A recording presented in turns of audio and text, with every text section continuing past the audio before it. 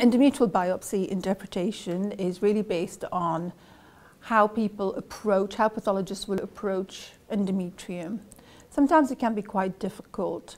Um, and endometrium really account for the major proportion of the workload that most pathologists see. They don't have to be specialist pathologists. Everybody all over the world will get a lot of endometrial biopsies. Um, previously, they used to be taken to assess fertility and whether some a female has ovulated or not. But now that has been superseded by hormonal estimations and serum levels. So we don't really need to use it for that purpose. But sometimes it is useful to exclude infection um, in certain parts of the world, which may be a reason for infertility.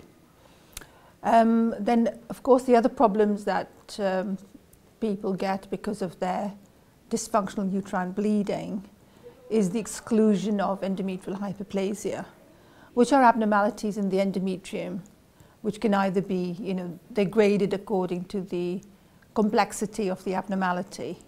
And at one end of the spectrum, there's slight changes, and at the other end of the spectrum, there are quite significant changes where you have to tell the difference between cancer and the complex endometrial architecture and cytology.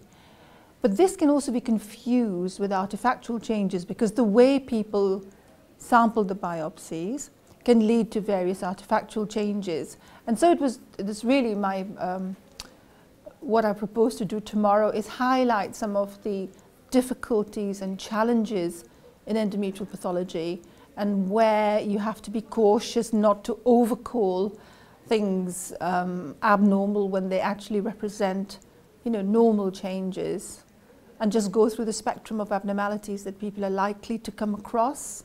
And then also, of course, you know, there is an increase in endometrial cancer now, and that is because it's diet related. You know, there are a lot of younger people who are now diagnosed with uterine cancers. They sometimes just come for assessment of infertility and they're found to already have a cancer. And that is because of the increase you know, body mass. Um, and uh, so it is important that people learn to make sure that they're not, you know, overdiagnosing it in these, particularly in younger women.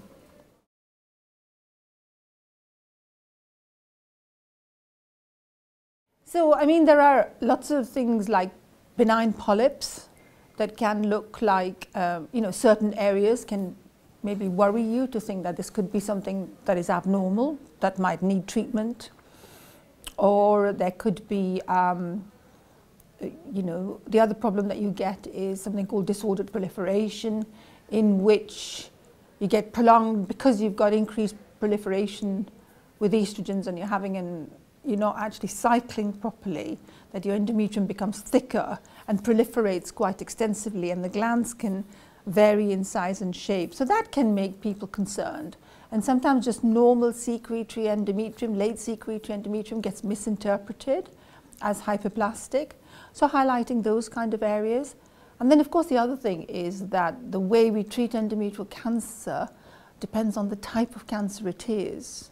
And we can do a lot to type the cancers nowadays. And really is to point people in the right direction as to how far you can take it so that you actually make sure that the surgeon does the right definitive operation.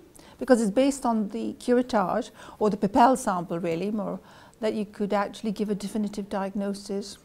And then you know obviously if it is a high grade tumor the surgeon will do a more extensive operation. If it is a low grade tumor they may not have to do such a extensive you know such extensive surgery.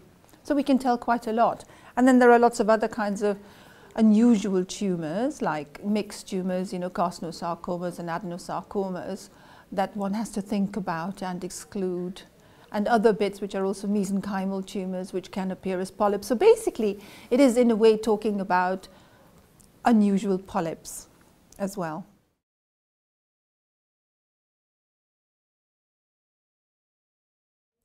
I think they're doing a lot just by ha having educational programs and getting you know, people who are doing this as their bread and butter. I mean, I do this every day of my life.